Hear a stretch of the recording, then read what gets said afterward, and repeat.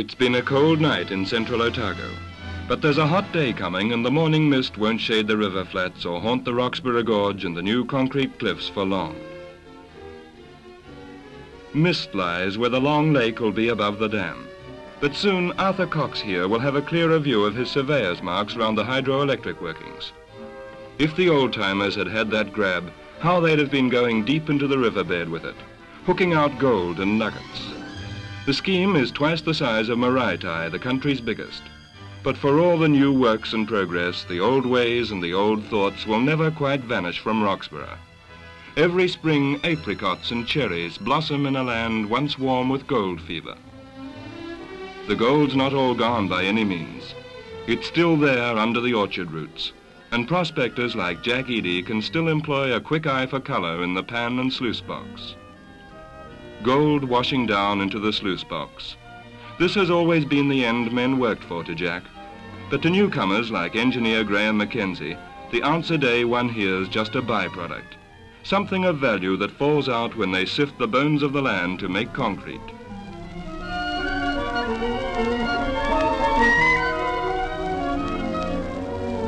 It's not gold by the pennyweight they want now, but electricity by the kilowatt. The stones Clutha River brought down are being built up into concrete to hold the river back, into a dam and powerhouse begun by the Ministry of Works and continued by contractors. In the office, the contractor's project engineer, Mr. Hancock, discusses recent progress with Mr. Learmont, project engineer for the Ministry of Works, who designed and engineered the job with the State Hydroelectric Department. Their resident engineer is Mr. Sandlin. Within a few months, they'll be seeing the first power generated. Ministry of Works inspectors Bob Gugich and Laurie Stevenson, both concreting experts amongst other things, are out on the job. They notice that grout is leaking at one point where cracks in the rock of the old riverbed are being consolidated by liquid concrete under pressure and have the leak stopped with packing. The mixture used for forcing into the cracks is tested for consistency in a laboratory on the spot. To be right, it should flow like porridge with a lot more water than oatmeal in it. Nice piece of cake coming up. If it's tough and heavy as concrete, Ted Redman reckons it's a good heat-cured sample. Testing dry cement, a sample from each bulk truckful, is Miss Van Berkel, a chemist from Holland. By measuring its permeability to air, she can tell if it's as fine as the recipe requires. Some of the test samples of concrete they make in a kitchen mixer. The real batches come from a battery of four mixers, each of two cubic yards capacity. On the staging, tests for consistency are made every 10 minutes, through day and night, as long as pouring continues.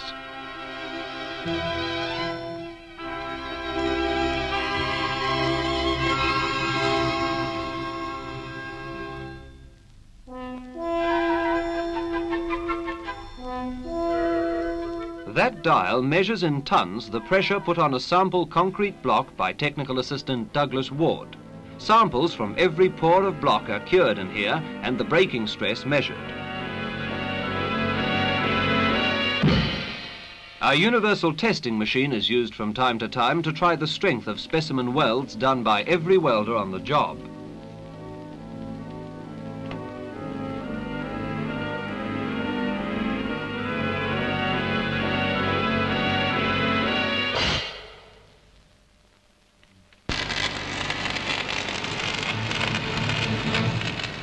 Night and day you'll see welders working on the penstocks, on reinforcing iron in the transition section, or above the water on the piers of the spillway.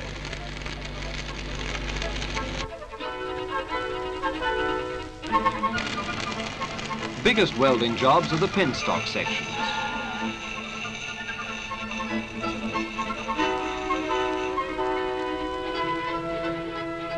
They swing sections into place using the Flying Fox cableway. The sections don't look so big until you get close up to them. With eight penstock tubes to be built, each with a 150 foot drop, there are quite a few of these bits of pipe waiting to go up.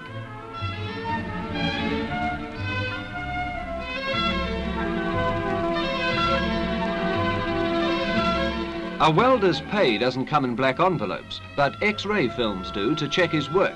They're laid over every weld and flashed from inside the tube. No risks can be taken with a 150-foot head of water. The Ministry of Works inspectors, all men of over 20 years' experience, see that excavations, steelwork, buildings and concrete are up to the mark. They're pouring on M block of the dam today, lifting it another five feet.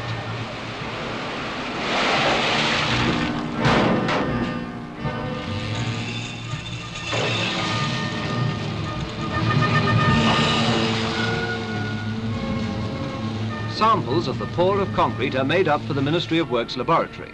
In slots between the great blocks of the dam, the rate of cooling of the concrete is measured electrically. These places, looking like the entrance to Pharaoh's tomb, will be filled with concrete when cooling and contraction of the blocks has finished. The spillway towers are already built as high as they're going.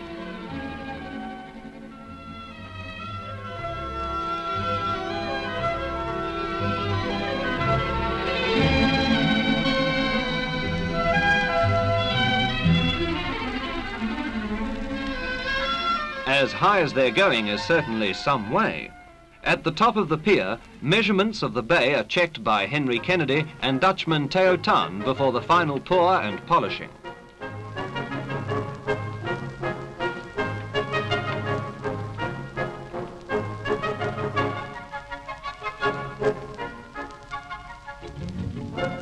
The stator for number one generator is being installed by the State Hydroelectric Department and made ready to receive the rotor, the part that revolves. The steady flowing river is in the diversion channel. In two or three years, the river will flow through eight turbines. These snail shells are the sluice boxes to extract power from the Clutha. Rotor of number one generator is prepared for hoisting into place inside the stator. In time with construction by Ministry of Works and contractors, switchgear goes into place to control nearly half a million horsepower. Hope they don't forget to give themselves a three-pin point for the radio and vacuum cleaner. The dam and power station is not all there is to the job. To get the power away, State Hydro plant a steel pine forest coned with insulators. Just down for billy tea are some young Irishmen who've been helping to put up some of the larger trees.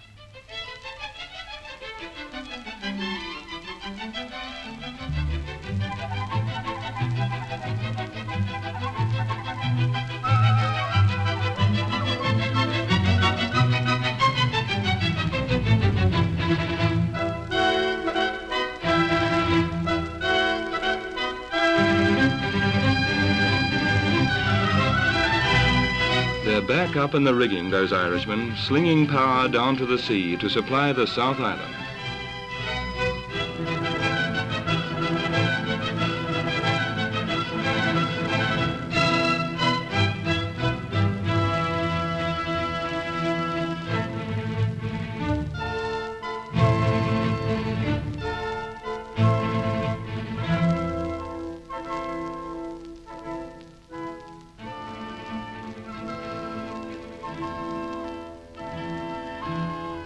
Up the river by Lake Hawea, too, there's many a government employee new to the district. Clutha's partly fed by Lake Hawea, and the levels to be raised, flooding the old road and giving need for the new. Headworks will span the lake outlet here, with gates to let extra water down to Roxburgh Power Station whenever they need it. To build this extra controlling dam, the river has to be diverted, and the temporary channel is being dug. Yesterday it was gold that went down from central Otago to start things moving. Tomorrow it will be power. Downstream again at Roxburgh, crowds come daily to the lookout point to watch progress in the gorge below. In a few months, the huge dam will be holding up a new lake and the first kilowatts will flow from a growing power station, by far the largest in the country.